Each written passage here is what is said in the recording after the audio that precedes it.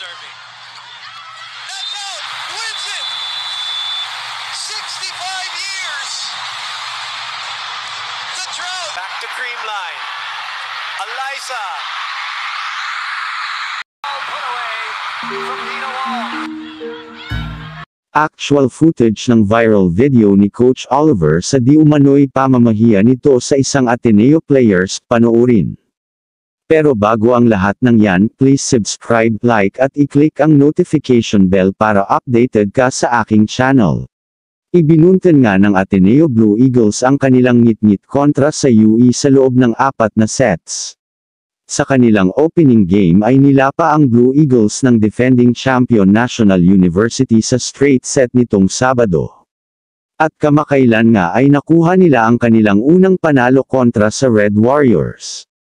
Samantala naman viral ngayon sa social media ang isang video ni Ateneo coach Oliver Almodro habang kinakausap ang kanyang mga players.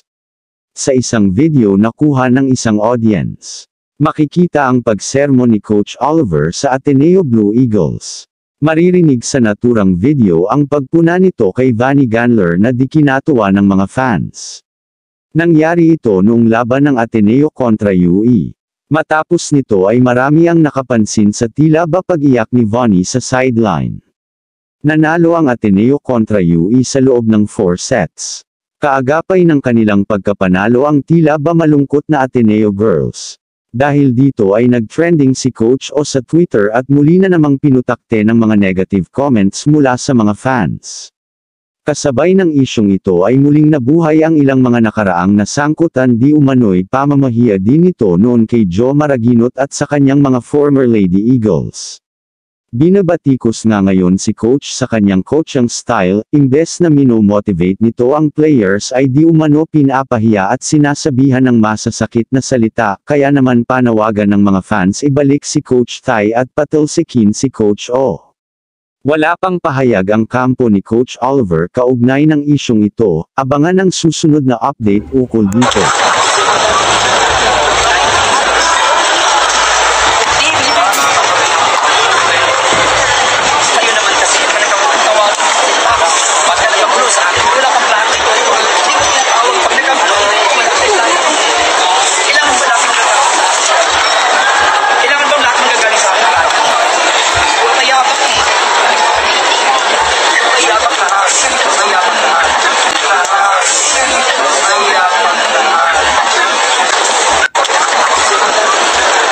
May gusto ka bang ikuda comment your opinions below.